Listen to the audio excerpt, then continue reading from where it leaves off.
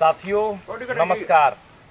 ये जो part two दिखलाने जा रहे हैं दिखलाने से पहले इस मंच पर एक ऐसा ही इंसान से आपका परिचय कराएँगे जो हमेशा दूसरे का काम के लिए माने जाते हैं। वो है हमारे उत्पल दा उत्पल दा एक ऐसा इंसान है जो हमारे दिल के बहुत करीब है।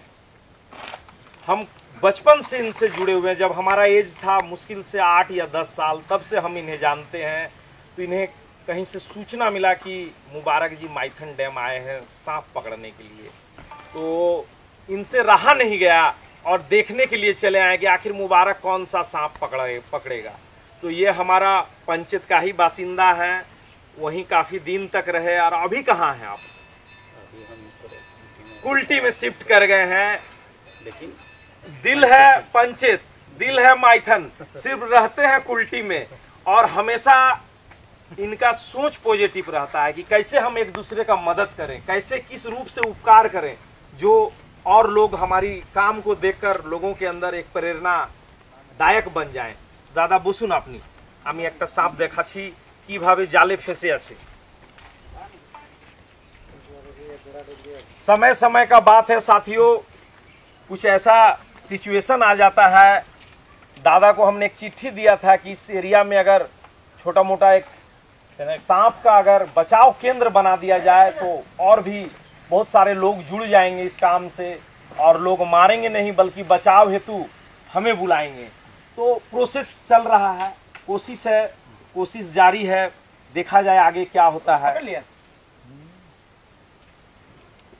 पूरी तरह नेट में फंसा हुआ था तो लगभग हम लोग आधा से अधिक निकाल चुके हैं। थोड़ा आप लोग हमारी मदद कीजिए मदद में कुछ नहीं करना है। ये पूछ अगर आप लोग पकड़ते हैं तो हमारे लिए बहुत ही बेहतर होगा।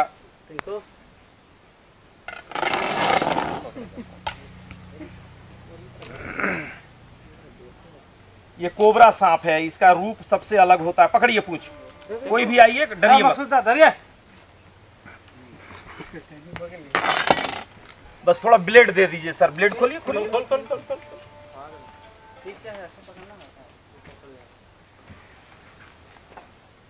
ऐसे पकड़िए सर।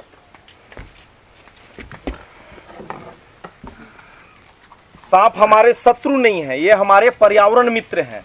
आप ज़्यादा संख्या में सांप मारते हैं चूहों का संख्या बढ़ जाता है।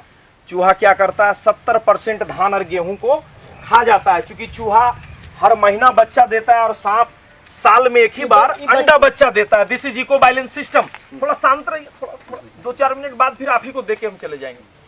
तो साथियों, थोड़ा सा बैठ जाइए आप। देखिए, एक नेट में बुरी तरह फंसा हुआ है और कुछ बुद्धिजीवी लोग हमें सूचना दिए हैं कि मुबारकदा, अगर आप आते हैं तो ये सांप बिल्कुल बच जाएगा। तो हम लोग कोशिश कर रहे हैं कि इसे नेट से पूर्ण रूप से आज़ाद किया जाए।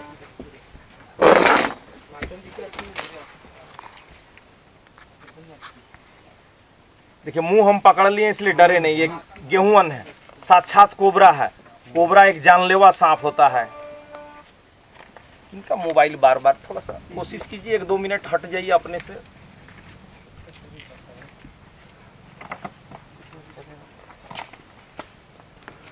यहाँ पकड़ लीजिए, सर।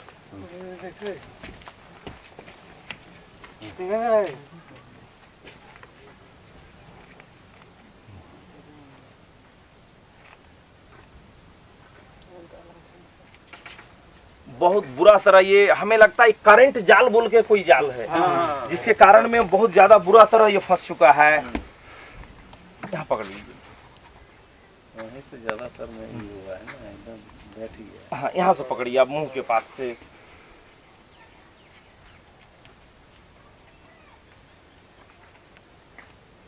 यही इसका दांत है कोबरा का एक बूंद जहर 20 से 25 लोगों को मारने में सक्षम है।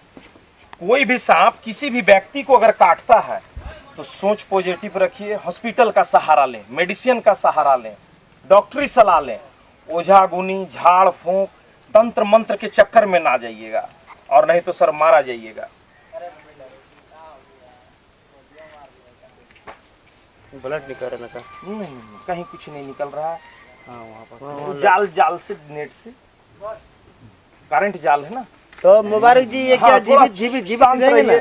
थोड़ा सा शांत रहिए सर उसके बाद फिर जो बोलिएगा दो चार मिनट बाद फिर आराम से बातचीत कीजिएगा। कंसंट्रेशन करना हाँ हाँ हाँ इधर से लीजिए सर। ये बिल्कुल स्वस्थ है। जाले चोट हाँ हाँ जाल से चोट लगा हुआ है।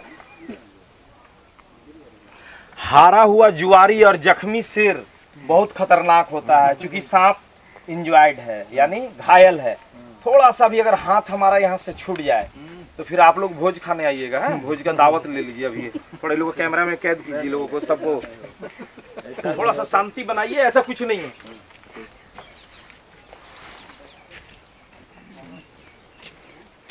ये थोड़ा डिटॉल और सेवलॉन साफ़ सुथरा करके बेटाडिन महलम लगा दिया जाए ना बिल्कुल ये ठीक हो जाएगा।